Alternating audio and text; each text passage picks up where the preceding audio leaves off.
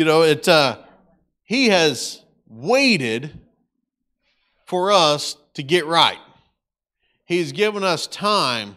He has extended time. You know, sometimes people are, are wondering when Jesus is going to come back. And Scripture even tells us that He is being patient, wanting us to come to repentance. You know, the only reason we exist today is because God doesn't want us to go to hell. Otherwise, this world would be done and over with. This, this whole life would be, be complete. Um, that's the only reason. Is because He is waiting uh, for us to come to Him. And so we're going to start this morning looking in 1 Peter chapter 3, verses 18 through 22. It says here, it says, For Christ also suffered once for sins, the just for the unjust, that he might bring us to God, being put to death in the flesh, but made alive in the spirit, by whom also he went and preached to the spirits in prison, who formerly were disobedient when once the divine long suffering waited in the days of Noah, while the ark was being prepared, in which a few, that is, eight souls, were saved through water, there is also an antitype which now saves us baptism.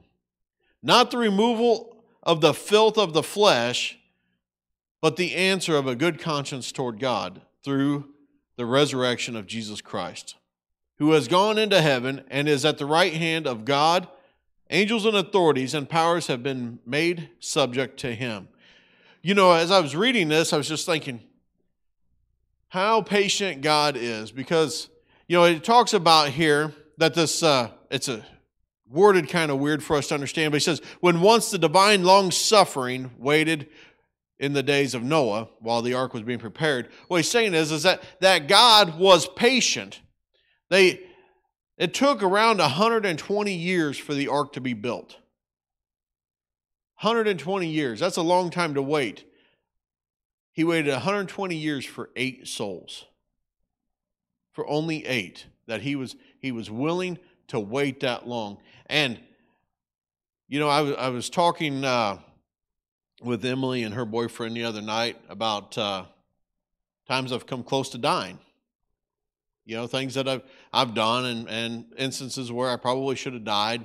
And I think a lot of us have, have some stories along those lines of saying, you know what, I, I had these, these things happen in my life, and uh, most of those things happened before I got saved.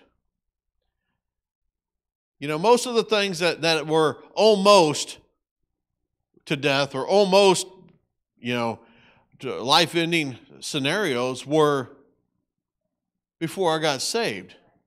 You know what? I am thankful that God was patient.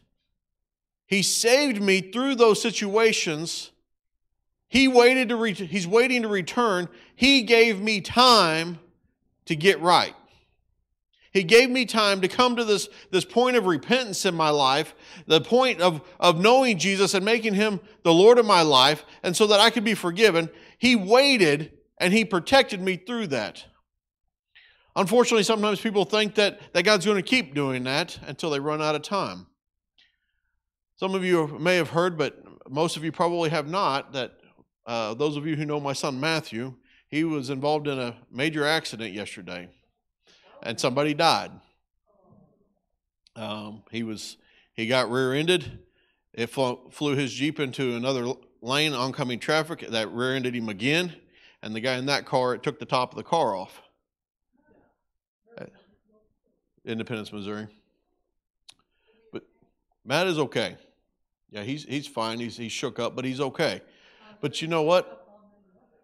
Yeah. Yeah, and so this is you know that that other guy, he was just driving in the other lane. And in the blink of an eye, his life was over. His time ran out. We have no idea whether he knew Jesus. But you know, we need to be thankful that God's been patient with us to this point, but we need, also need to recognize we're not guaranteed our next breath. Because he waited for Noah to build an ark 100 to 120 years for eight souls. If that's not patient, I don't know what is. We have a hard time waiting 120 minutes for something. All right? That's even a real long time, especially if you go out to eat or something, right? That's two, be two hours. We'd get up and leave. But he waited for you. He waited for me. And he waited so that we could be saved. In 2 Peter 3 9, it says, The Lord is not slack concerning his promise, as some count slackness, but is long suffering towards us, not willing that any should perish, but that all should come to repentance. Scripture makes it very clear here God's not slack in his coming, he's, he's not wasting time, he didn't forget about us. It says here that he is waiting, he is being patient. Long suffering means to be patient. He is being patient with us, he's being patient with humanity because it's not in his will that anybody goes to hell. We need to hear that this morning because it's not God's will for anybody to go to hell. It doesn't matter how bad they are, it doesn't matter the things that they've done. It is not in the will of God for anybody to go to hell. Sometimes people think of God up there as this big, mean judge just wanting to send people to hell. He doesn't want you to go to hell. That's why we're still alive. That's why we're here today, because God does not want anyone to go to hell.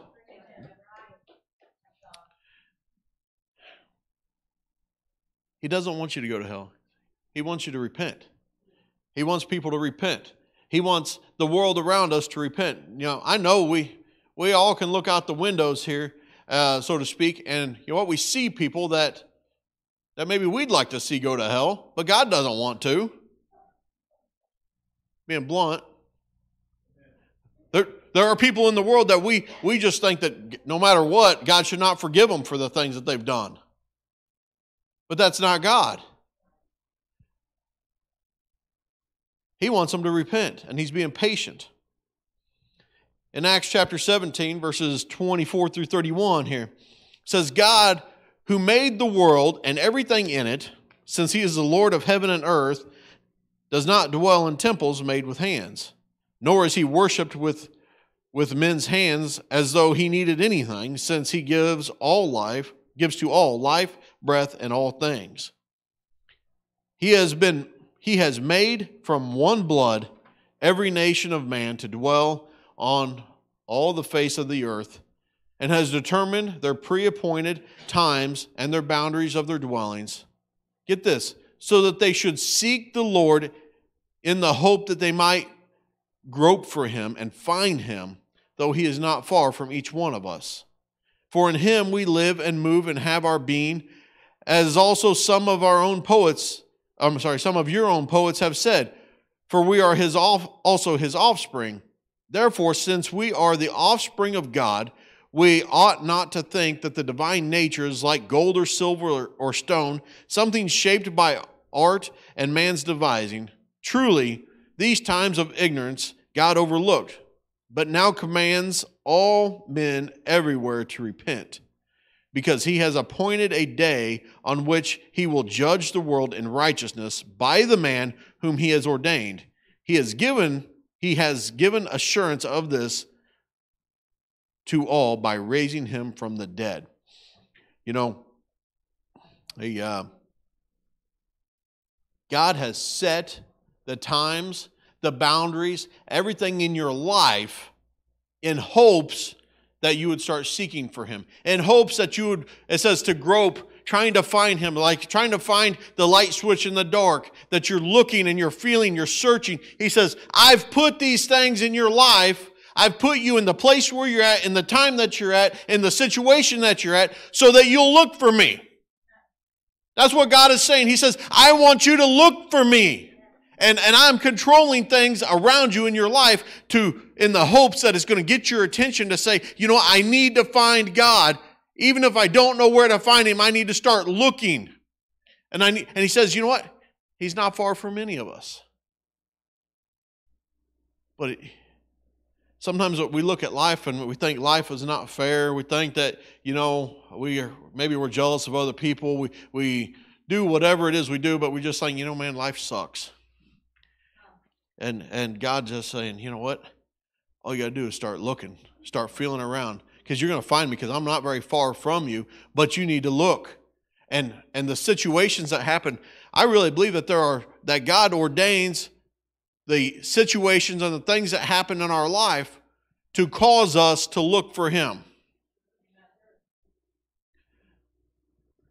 You know, people who don't know Jesus probably think more about Jesus at a funeral or when they're facing their own mortality when we're faced with the eternity, recognizing that this life is not going to last, that's when people often start doing the groping.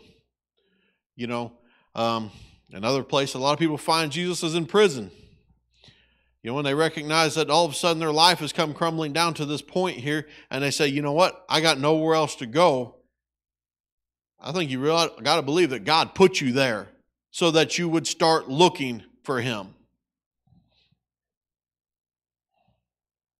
He's called us to repent. You know, he uh, it tells us here that uh, once upon a time God overlooked ignorance. You know, he, Paul's writing here, and he, he's talking about. I'm sorry, Peter's. Which one is it? uh, it's Paul, actually Luke is writing, but Paul's talking, and he's he's saying, you know what? There was a time when men worshipped idols, and God overlooked their ignorance. He says, but that time is past. God's no longer overlooking this ignorance. Now he has commanded, he says he's commanded every man to repent. He wants everyone to come to repentance. You know, I the things of God are are, you know, as far as how he's going to judge and things, they're more complex than we could ever understand. But I do know that scripture makes it pretty clear that, that we are also going to be judged based on what we know. And when we know what God wants for us and we don't do it, we put ourselves in a position of a stricter judgment. You know, he's saying that the times of, of uh, doing things ignorantly are now over. Now you know, and you're responsible with, what, with that knowledge as to what to do with it. He calls us to repent of our sin, of our selfish ways. He tells us that uh, that is that time is now. There's going to be a judgment day. You know, Paul's bringing this up. There is going to be a day that we're going to be judged, and uh, he tells us that we have an assurance that this is going to happen because Jesus rose from the dead. If Jesus hadn't rose from the dead, none of us would be here this morning. Because none of this would mean anything if Jesus hadn't rose from the dead but he did. You know, this is a, when we talk about repenting and, and whatnot, the word repent means to turn around and go the other direction. You know, one of the things I, I, I teach about at Teen Challenge sometimes with dealing with repentance is sometimes people think repent means you're sorry for what you did and you're making a decision to stop doing it. That's part of it.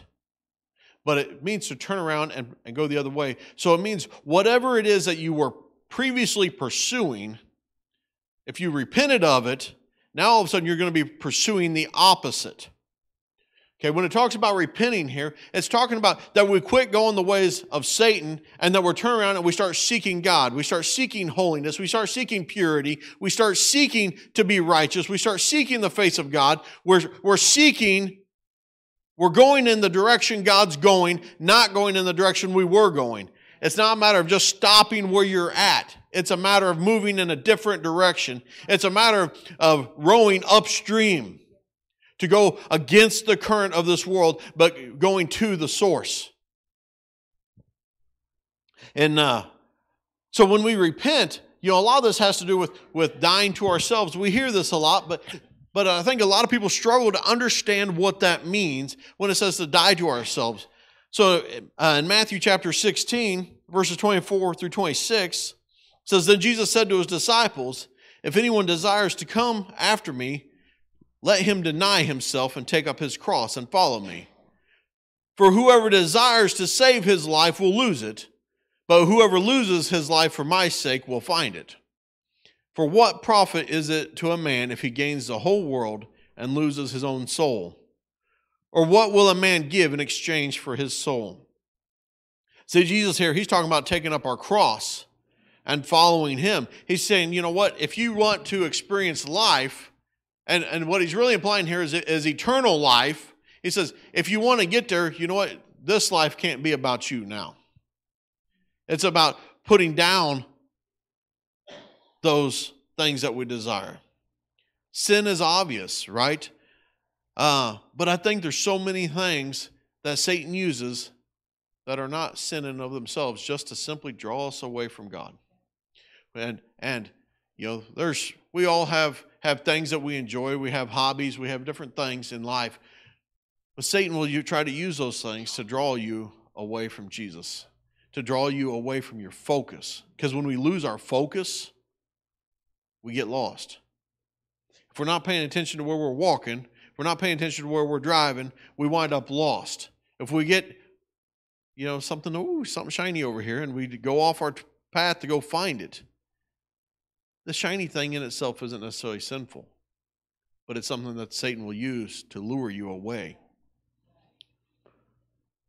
You know, I, th- I think of this as a, it's uh, it's putting to death the works and the desires of our flesh. So, in other words, the things that we we want in this this life, uh, it's a lot like fasting, right? Fasting is simply telling yourself no. You know, saying no, I don't need that. No, that's not good for me. No, I don't do that anymore. No, that's not not permissible for me. And and it's uh I mean everybody loves to fast, right? Right? Nobody loves to fast. Um, it's not a fasting isn't fun. But as we deny our flesh, it strengthens our spirit. We, we become more in tune with God. We become stronger in our resolve to do the things that God's called us to do. We become stronger in our resolve to not give into temptation. Uh, I, I believe it's one way that we receive wisdom from God to, to go on with life. But how, how do we do that? We do it by telling ourselves no. So we silence the flesh so that we can hear the Spirit. I'm telling you, if we hang on to our past, if we hang on to the things of the world, we die. Right? That Jesus made that pretty clear. He says, you know what? If you want to you try to save your life, in other words, you want to want to keep this life that you're in, you're going to die. He's talking about a spiritual death. Um, I know some of you have probably heard this before, but uh, I thought this was so profound, something the Lord shared with me years ago. I had a pair of jeans, I got a hole in them, and I'm cheap. And so I thought, well, I'm just going to get a iron on patch and keep these jeans. But then when I got to looking at my jeans, the rest of the denim was thin enough you held it up to the light, you see light through it. I come to the realization I didn't need a patch, I needed a whole new pair of jeans. You know, there's a lot of people that come to Jesus wanting him to be a patch. You know, Jesus even talked about how nobody puts a, a, a new piece of cloth on an old garment, or says, and if he does, it that the patch pulls away makes the tear worse. You know, the fact is, is Jesus refuses to be a patch on our life. He is the whole patch, or he's a whole pair of jeans. He's a whole new life. And, and that is something that we need to, to come to a, a point in our lives that we understand that you know in my in my time in ministry with teen challenge i've seen so many guys come in over the years. They just want god to they just want jesus to fix their relationship fix fix their addiction fix the problems fix the court stuff but they don't want to give up the rest of their life. Why? Well it's just like my blue jeans that i had. You know what? They were broke in they fit good they were comfortable right? We all get jeans like that, right? We're like, that's the pair that fits right. You know, that's the pair we like the best. So we wear them so much they wear out faster. That's what happens to me, right? And so, but but God is, He's saying, you know what? You can't. You need a whole new life. And the only way to do that's to throw the old pants away and get a new pair, to start over. And uh, and that's what what really dying to ourselves means is, you know what? But those other ones, we like them. They're comfortable, right? And they fit right. And and so so many times we just want to hang on to our old life with just fixing the problems. But Jesus doesn't work like that. Jesus gives us a whole new life, not just being a patch to our problems. You know, when we when we come to Christ and we make Him Lord of our life, one of the things that we do is we uh, we join together with Jesus in His death. You know, Scripture makes it pretty clear. There's a lot of a lot of Scripture that talks about how how you know that we died with Christ, right? And and as we're going to be having our baptism service this morning, you know, baptism is a sign that we have chosen to die to ourselves, to die with Jesus. The word baptize means to immerse or to, to submerge. And so, you know, for those, those that are going to be getting baptized, you know, it's important to recognize what this is symbolizing is, is joining with Jesus' death, burial, and resurrection, that you're dying to the old man, that that old man is now dead, and it is that you are being immersed in Jesus. You are participating in his death, his burial, his resurrection, and his righteousness. That, that as the, the, the whole baptism service is symbolic of something that has already taken place in one's life. That, that they have chosen to, to die to themselves, to take up their cross, to lay down their desires, their wills, their, their passions, their sins, lay it all down as dead but being resurrected to a new life in Jesus Christ.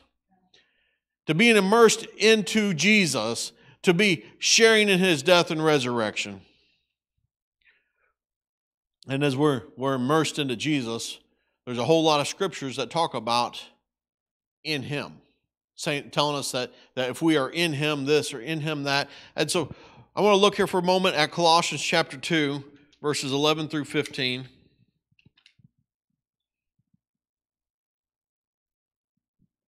It says, In him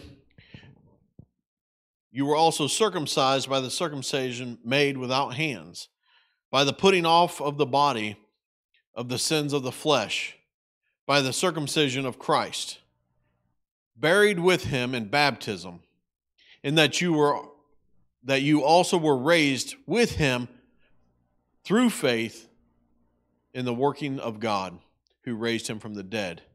And you being dead in your trespasses and the uncircumcision of your flesh, he has made alive together with him, having forgiven all your trespasses, having wiped out the handwritings of requirements that was against us, which was contrary to us.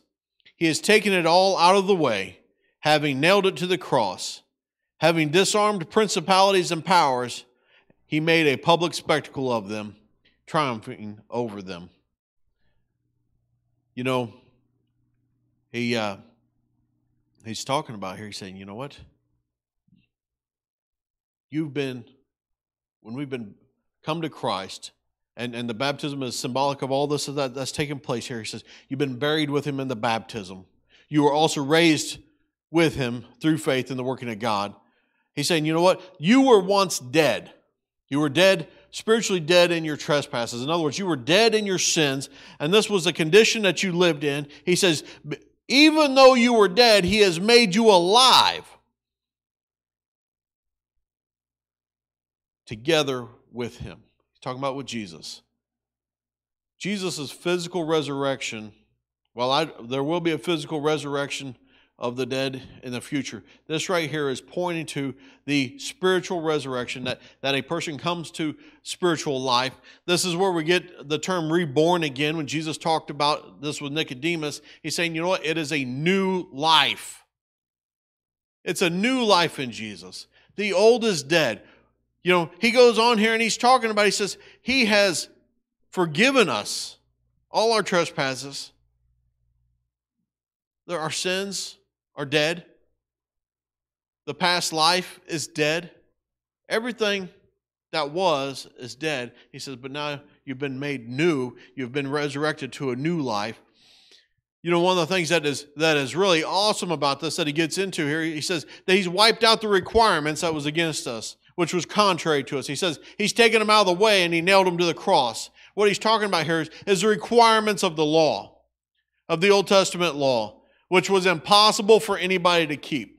There's a reason we don't keep sacrificing animals today, is because Jesus was the ultimate sacrifice. He wiped that out. He also wiped out the, these laws that we couldn't keep. He, he took out the requirements and he has given us his righteousness that we're able to stand before God as righteous because of Jesus' righteousness, because he was sinless. That is how we stand before God as though we're righteous because we know we know ourselves. We know that that that we struggle in life, that we're never going to be perfect. It doesn't mean we don't aim for that perfection. We don't justify the sin. We don't justify doing the wrong things. But the fact is, is that he wiped out all the legal requirements. He wiped them out, and he says he made a spectacle of them. He took it, he took out the principalities and powers. In other words, he took out, he took away Satan's power. He took out, took away the power of sin and death. Those powers no longer exist for those who are in Christ Jesus because he made a spectacle of them. In other words, he made fun of it. He says, You know what? I wiped him out so bad I made it this public spectacle for everybody to see that Satan's a chump now because the blood of Christ is on my life. He's taken away the power of sin. He nailed it to the cross. You know what that means? That means we have freedom. Because those were the things that kept us, sin was what kept us in bondage, sin's what kept us away from God, and that's been taken away. The requirements of the law the, the, the bondage that we were under has been taken away so that we are truly free in Christ. That we are free because he's disarmed the devil. He took away his power. You know, as believers in Christ, we need to understand that Satan don't have power over us. He doesn't have control in our lives. We don't have to submit to him anymore. In Romans chapter 6, verses 3 and 4, it says, Or do you not know that as many as us, many of us, as were baptized into Christ Jesus, were baptized into his death. Therefore, we were buried with him through, the ba- through baptism into death, that just as Christ was raised from the dead by the glory of the Father, even so we also should walk in the newness of life. You know what? If we've been saved, we've, we've died to our old man, our old person, and we've resurrected with Jesus, he says, you know, it's a new life. It's time to walk in that new life. It's time to act like you have a new life. It's time to, to live it, not just say we possess it and act like it's not there. He's given us a new life. I tell you what, Jesus, his work on the cross has given us the ultimate clean slate. He wiped it all out. He wiped out a, a, the slate that there's nothing else in nothing we could do in this world wipes it out like that. There's nothing. But he took it all.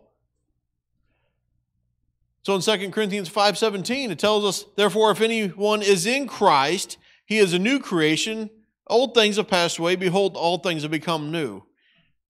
If you are in Christ that's the key if you are in Christ the old is dead the old person is dead and everything is now new.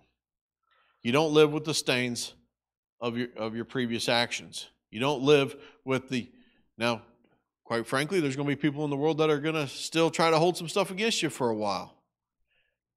You know, and man, what an opportunity, though, to show the world what Jesus has done in your life, that you've given you a new life. Um, you know, so so this morning we are going to be having our our baptismal service here in just a little bit, and in Matthew 28 19, Jesus told us, He says, Go therefore and make disciples of all nations, baptizing them in the name of the Father and of the Son and of the Holy Spirit, teaching them to observe all things that I have commanded you, and lo, I am with you always, even to the end of the age. Amen. Now, see, Jesus told us we're supposed to make disciples and that we're supposed to baptize them in the name of the Father, Son, and the Holy Spirit you know, water baptism is and the Assemblies of God is one of two church ordinances that we observe. Okay, and, and some other denominations you're going to hear the word sacraments, um, but in the Assemblies of God there are two ordinances of the church that we we adhere to, and one is water baptism, and the other is is communion. And I'll tell you why. Because these are two things that Jesus told us to do. It's pretty simple. Jesus said, "Do it," so we do it. You know, these uh, this water baptism is an act of obedience. The uh, there's nothing special about the water. You know, it is a matter of obedience. Jesus said to be baptized.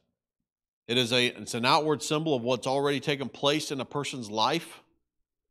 And so this is it's it's simply being obedient.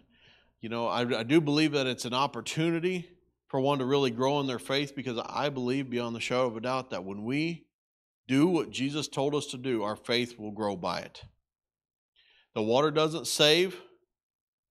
The water is it's simply a matter of being obedient and making a public testimony of what Jesus has done in someone's life.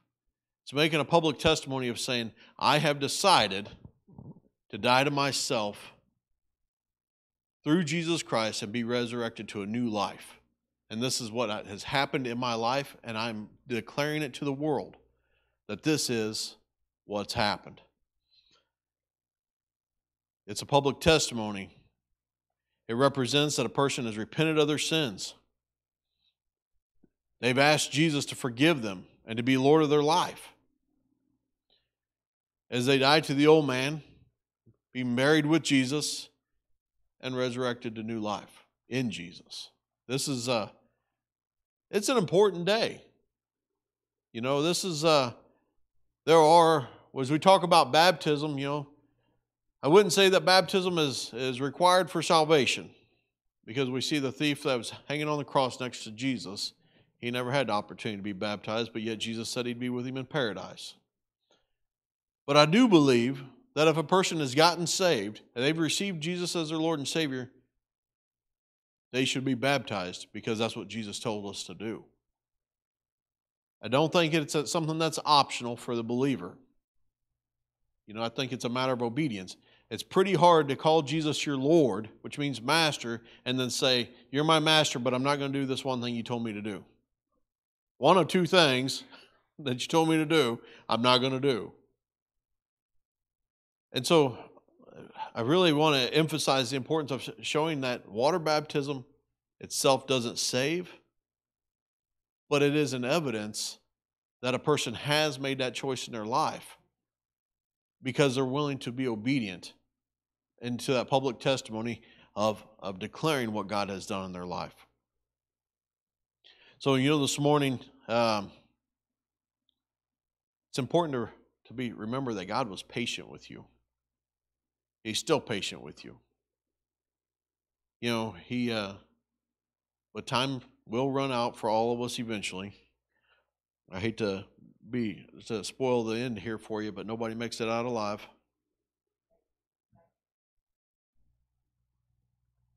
And we don't know when that time is, just like that guy that, that was involved in that wreck yesterday. That was a blink of an eye. Gone. We never know. We don't know when Jesus is coming back either. That's another hourglass that's running out of sand. But he's been patient. But he's also said, you know what? I've been patient with you, but time's up. Now it's time to repent. Now it's time to get your life right. Now it's time to take up your cross and to die to yourself. The funny part about it is, is as we die to ourselves, we find life. We find freedom. We find all the things that we search for in death. You know, if we if you hear what I'm saying here, all the things we search for in trying to hang on into this life, which leads to death, all the things that we look for in that, we find by laying our lives down before the Lord and just making the decision to live for Him and to share in His death. Um, as we, we die to our flesh, we get to walk away in a new and resurrected life. You know, this is, a, again, for those that are getting baptized here, this is simply a public testimony of what has already occurred in their life. And so um, the guys are going to come up and share this morning just a little bit about why they're getting baptized. And so Caden, you want to come on up?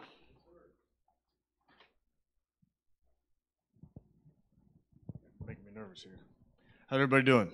Uh, my name's Cade. Uh, I guess make it short and sweet is I uh, since I was about 21, I started using drugs and alcohol and masking my my real feelings and doing things my way. And I guess I made a commitment now to follow Jesus, and that's what I'm gonna do. So that's what all I got. Thank you.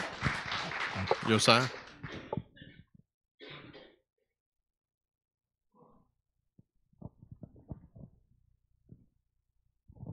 My name is Josiah, and uh, the reason that I decided to get baptized was because all my life, since I was 11 years old, I was rebelling and doing uh, smoking, drinking, doing all, uh, rebelling against my parents, and uh, um, now that I'm 18 years old, I just I did I asked Brother Peter about getting baptized, and he told me that that could be possible. So just recommitting my life to Jesus and just giving him all that I got. That's all I got. Amen.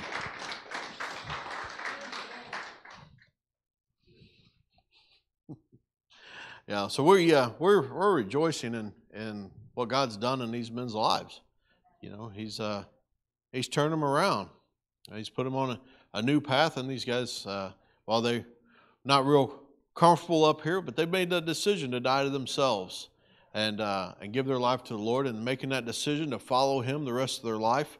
And so, uh, here in a few minutes after we close uh, our service here, we uh, we can uh, we're all going to again meet at the south end of the building here, and uh, you guys are going to take the polar plunge. So we they were throwing some hot water in there this morning, trying to warm that water up a little bit. So we're uh, yeah we're we're, we're going to make it make it pretty quick. Uh, try to avoid any hypothermia. So, all right, let's uh, let's close in a word of prayer this morning. Father God, in the name of Jesus, Lord, we just thank you once again for your goodness and grace. We thank you, Lord, for your patience you've had with us. Lord, uh, we rejoice, Lord, that uh, that you were patient with these these two young men, Lord, as they that you gave them time to to finally recognize their need for you.